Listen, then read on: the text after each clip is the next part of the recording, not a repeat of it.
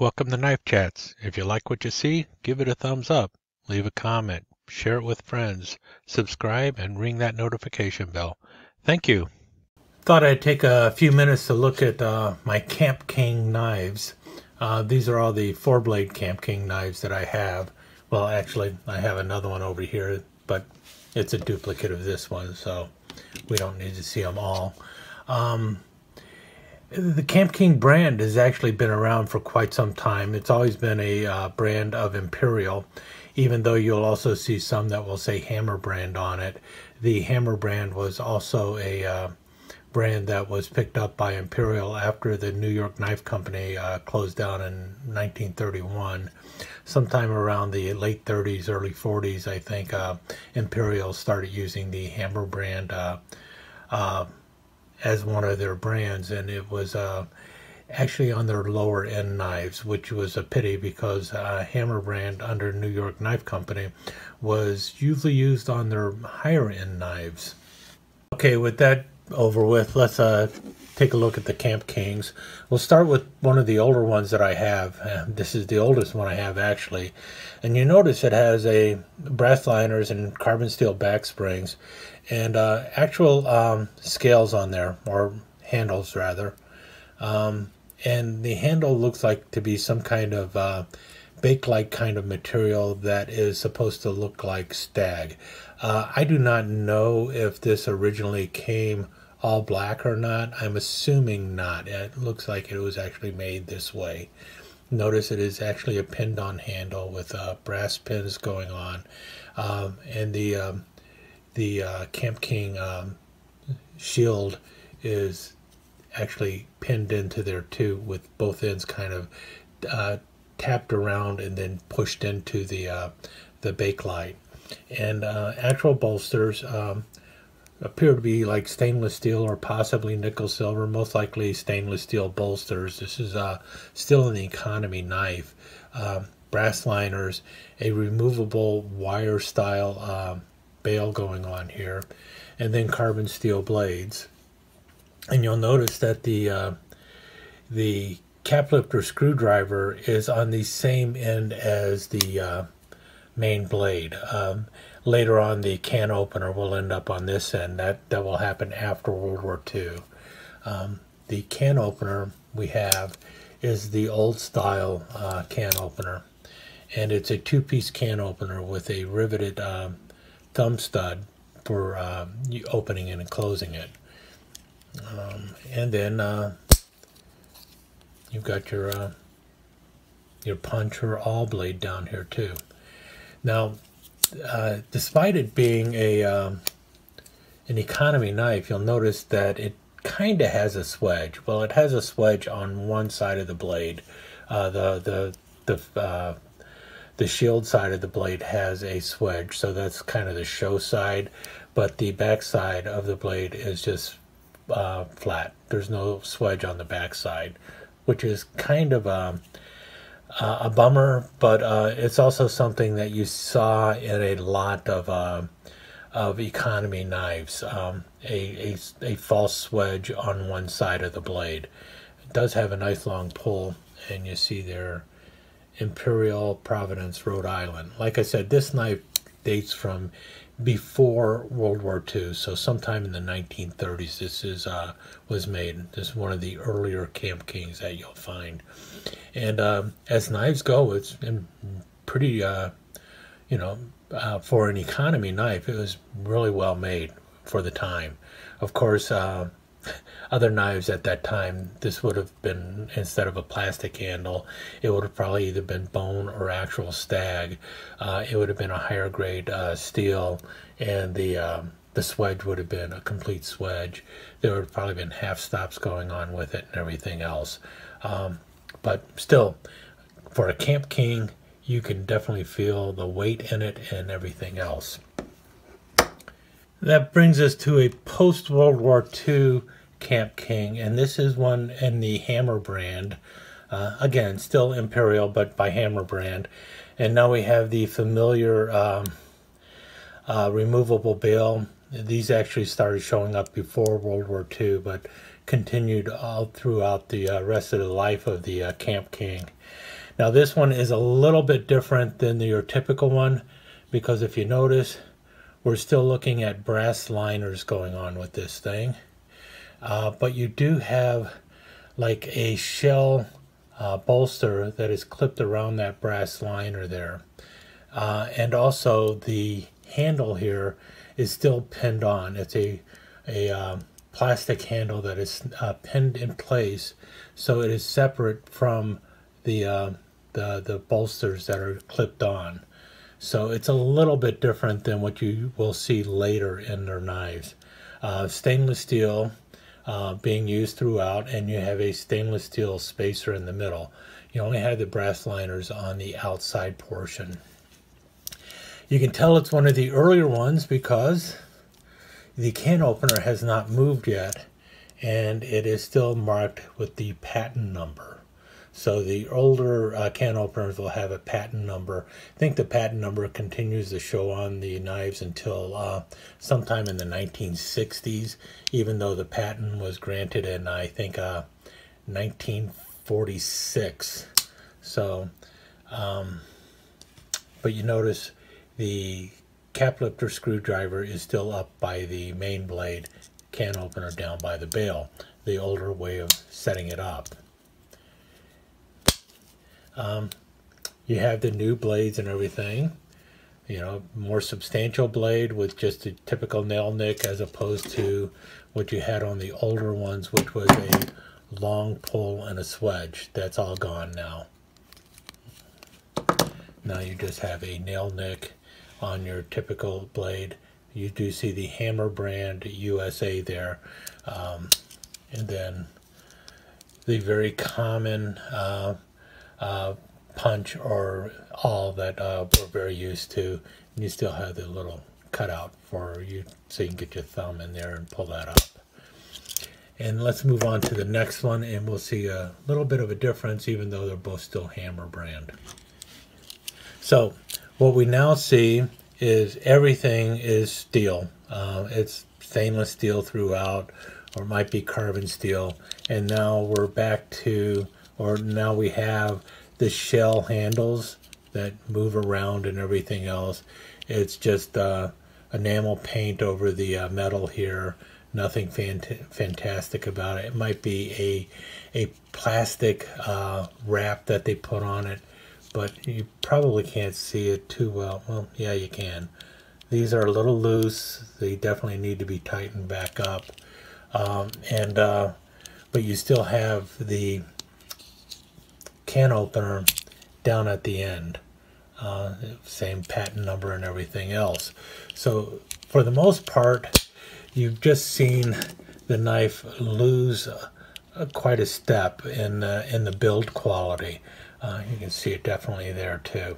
So this is the um, later 50s. We're still talking uh, Hammer brand USA, uh, but the quality is definitely starting to lose out on there. The uh, nail nick is also gone in the knife. You can still pull it up, but notice the difference on the two sides. You've got one with the nail nick, one without the nail nick. And uh, you can definitely feel the loss of heft. I'll weigh these two and uh, put it in the slideshow at the end uh, so you can see the difference in weight between the two. It's not significant, but you can kind of feel it. And the fact that everything is moving on this really makes it problematic. Okay, the uh, cracked ice one here is probably from the uh, uh, early 1960s. And this was actually an attempt to uh, um, make the knife a little bit better than what was going on here with the last of the hammer brands. Uh, you now have um, it is Imperial Providence USA. Um, you have imitation pearl or cracked ice handles. It is a shell handle, but the uh, cracked ice portion uh, is a heavy uh, enamel laminate that has been wrapped around the handles and then um, uh, I don't know how hot glued or something in place. Um, the handle, the, the Kamp King uh, shield is actually molded into the back portion that this uh, wrap is placed around. And the pins also are part of that uh, molded portion of the metal shell handles. But you also notice here that you have really nice brass liners going on with it. And then um, the blades, you've got the can opener. It still has the patent number on it. So that's why I'm suspecting that it is probably uh, um, early 1960s or so. And then um, nice tight uh, cap lifter screwdriver going on. And your typical punch that you see on any of the other ones. Um, let's see how that punch compares to this one. You notice it's more triangular and has a better point going on. Neither one of these has really been used and worn out. This one looks uh, used more, but it really hasn't been used that much. Uh, this one was not used at all. This knife is uh, mint. Um, but you can see that in the 60s, uh, especially the ones that have like the uh, imitation pearl handles, they actually made an attempt to uh, improve the quality on these. And that was followed uh, by these. These were probably made around the same time. These are a little later. You can tell that because now the patent is gone. It's no longer there. Um, and um, all in all, not too bad. You've got a brass liner going down the middle, um, but no other. It's all stainless steel. Uh, you have shell handles. Um, this is uh, an enamel wrap or it might have been painted, one or the two. Um, and then the Kamp King logo here is actually stamped into the handle. I've got a video that shows how that was made. Uh, you can see that it is clipped on the end here. Um, same blades that you're seeing over there. Imperial, Providence, Rhode Island, USA. This is the last of the tang stamps that uh, uh, Imperial was using before um, they used it all the way up until the 1980s. Um, this one here, notice the difference in the tang stamp. It's Imperial Providence USA. That was Providence USA is the one they used after Imperial Providence RI. And then this is the very last of the Imperial uh, tang stamps that came out sometime in the 60s. So this is uh, one of the last of the USA made uh, Kamp Kings. You can see that the uh, the jigging on the handle is much wider than the older ones, something to look for if you're trying to determine the age. Plus the fact that the uh, can opener is on the same end as the um, as the blade. Earlier ones will always have the can opener on the back side. This is kind of in the transition. And that brings us to the end of the line for the Imperial Kamp Kings.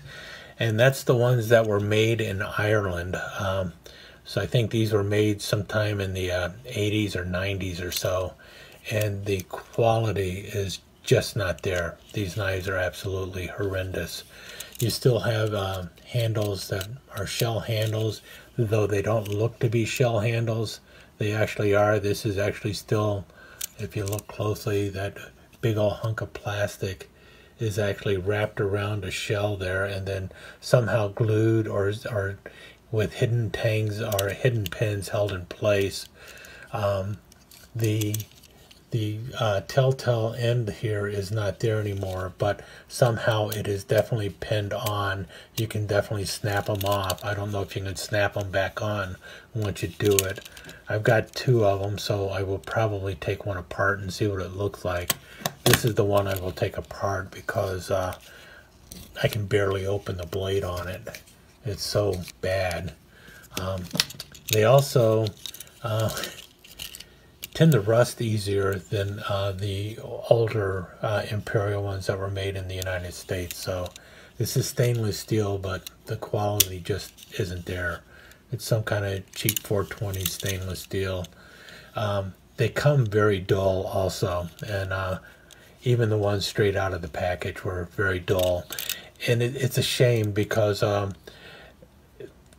it, it, you make it th- it makes you think that uh, the knives made in Ireland were just bad, but that's not the, the case. The Kamp King knives that Imperial made in Ireland were bad because um, you, here you have a diamond edge also by Imperial. Oops.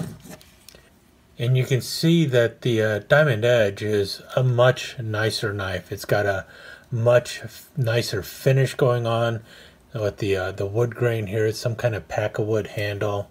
The diamond edge is nicely engraved in there. The blades open smoothly. You've got a nice clean Imperial Ireland stainless going on there. I believe the steel used in these is a 440 steel. Um, everything opens nicely. You've got stainless inox. And then uh, cap lifter screwdriver and they added a uh, corkscrew on the bottom of this one. I think they also made them without that. You still have the removable bail going on for it and everything else, but you can see that uh, some attention to detail was spent on the diamond edge knife versus the Kamp King, uh, also by Imperial. So both knives were by Imperial, both were made in Ireland, uh, but the Kamp King was just awful even the uh, Matterhorn uh, line of knives made by uh, Imperial in Ireland is much better than the uh, Ireland-made Kamp Kings. Uh, and these are very much similar to what the uh, what they were doing with the Kamp King. I mean, it's got the same shell handles and everything else. The only difference is, is it's got a red handle to try and imitate like a Swiss Army knife versus the uh, uh, Imperial Kamp King Ireland. These these the only reason to have one of these is if you're collecting all of the uh, Imperial Kamp Kings. This is not the one you want to get. You want to get a USA made Imperial Kamp King or go ahead and buy the uh, the latest one made by Rough Ryder because uh, at least that is a solid well made knife with actual black bone handles. Uh, uh, you haven't had a, uh, a solid, well-made uh, Kamp King knife basically since the 1930s. Uh, any case, there you have it, my uh, collection of Kamp Kings. And you know what? I don't want to end on a sour note, so take a look at this one again. This one is a true beauty. So uh, Imperial did know how to make a Kamp King, and they made some really terrific ones and uh, you can still find these even in mint condition even though they were made all the way back in the 1960s you just gotta have to hunt around for them. Um, and they're uh, a really solid well made knife. Um, and uh, yeah I would pay about 30 bucks for this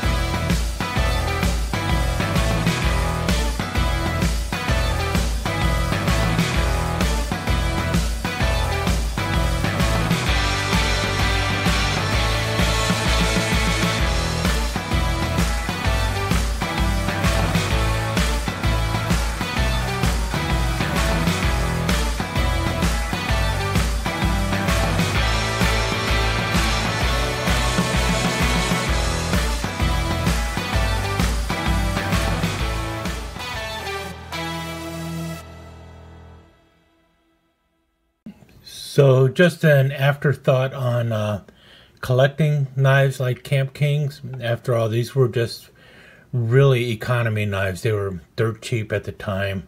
Um, probably sold for a buck off of a card or something like that.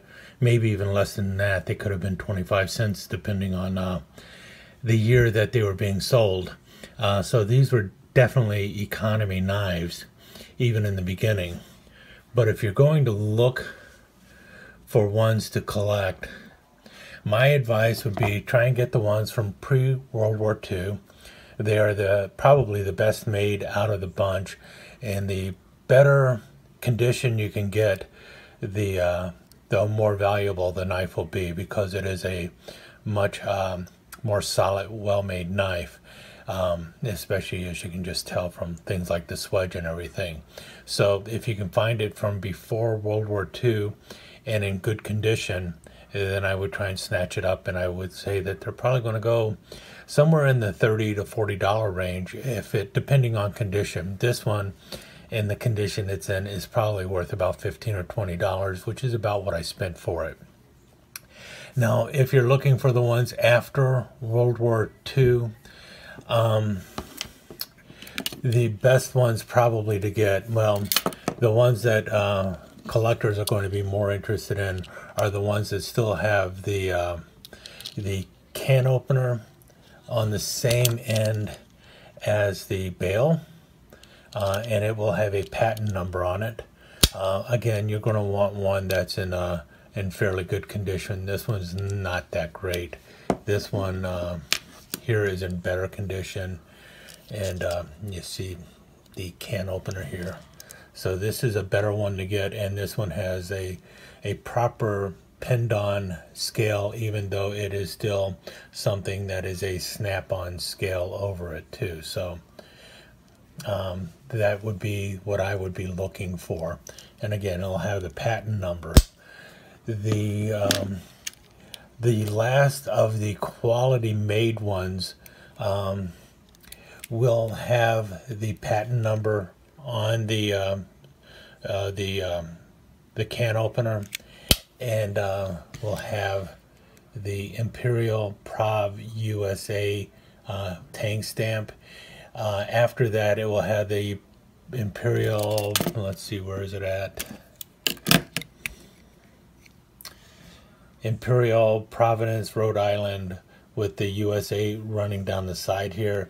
These were made as late as the 1980s, and, um, and they are the cheapest and the poorest quality uh, of the um, Kamp Kings that you're going to run into until you run into the Imperial Ireland ones. These ones here are the ones that, despite whatever condition they're going to be in, are really a, you know, 10 to 15 dollar knife including the shipping but the ones before that with the Providence uh, USA uh, tang stamp and the patent number on the uh, uh can opener this one is looking in the, um, it will be a more valuable knife. It'll be in the um, 25 to $30 range, maybe even more depending on the condition. Uh, this one, like I said, is mint, so it's probably worth more than the uh, 25 to $30 um, price tag that you're going to end up having to pay for it. Um, the older, the better. And uh, there's also some other ones out there that are really interesting, like the Kamp King Deluxe, which has a uh, one of those old church keys that fold off the bottom. I will try and insert a picture of it. So hopefully that will help you out with your uh, ventures and looking at older Kamp King knives and which ones you would be considering buying and such. Uh, for me, the pride of the collection is probably this one, followed closely by this one, even though the condition of this one is not that great. Uh, in a case, there you go. There's my Kamp Kings.